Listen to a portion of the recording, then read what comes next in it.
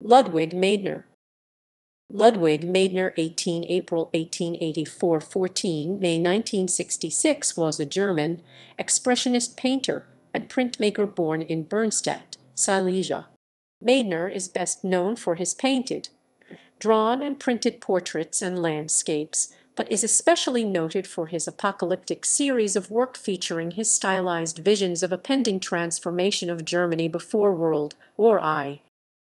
Overview Overview Overview Overview Ludwig Meidner was apprenticed to a stonemason, but his apprenticeship was not completed. He studied at the Royal School of Art in Breslau, and from 1906 to 1907 he studied painting at the Académie Julian and Cormon Academies in Paris, where he met and became friends with Amedeo Modigliani. He returned to Berlin to work as a fashion illustrator and produced views of Berlin. In 1912 he began a series of paintings that marked a radical departure in style and would make his reputation.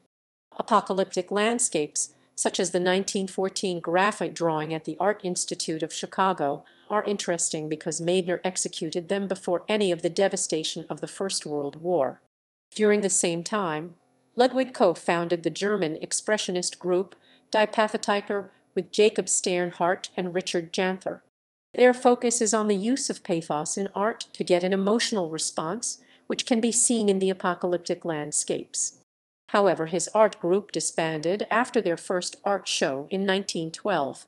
During WWI, Ludwig served in the German military as a French interpreter and an infantry soldier.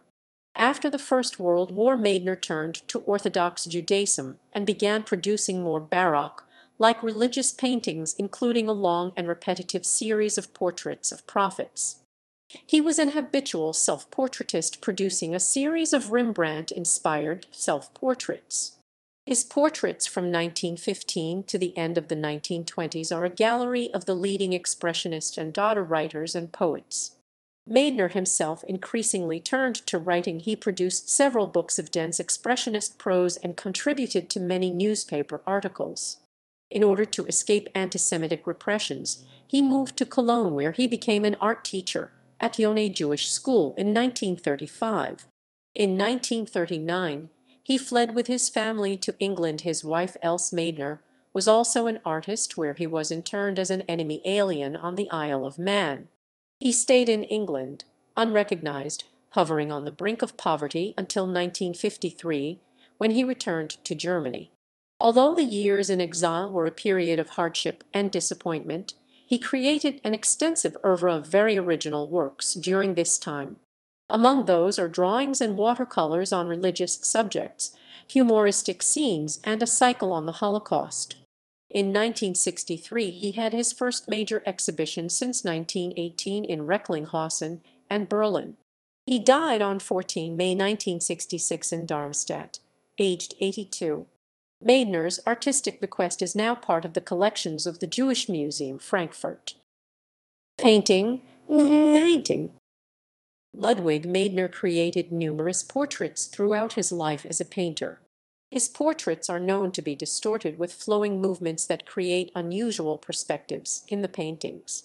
This form of distortion and his unrefined brushstrokes is credited as helping to create an emotional sense of depression and anxiety in his portraits, which in turn deterred many from getting portraits done by Ludwig.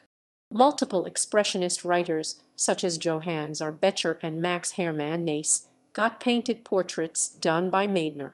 Other than portraits Ludwig also created multiple landscapes of Berlin, which are frequently known as apocalyptic from the style of the pieces.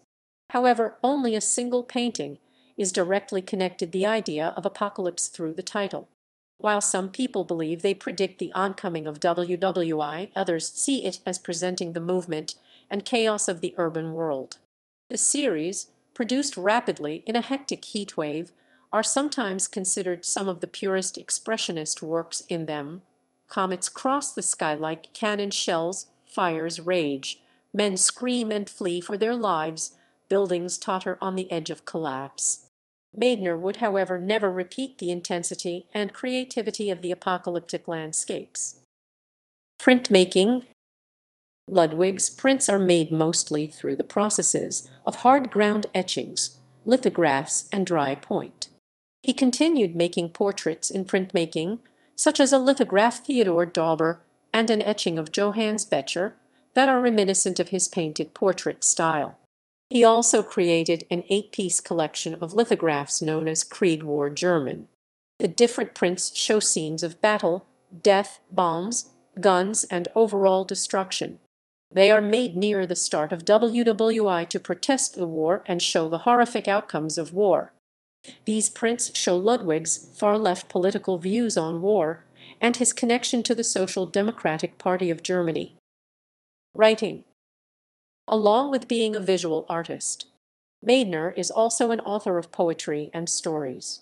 While he mostly wrote poems, he also wrote a short story and three books, Gang in Die Stille 1929, Septemberschrei 1920, and Im Nacken das Sternemeer 1918, none of which became popular.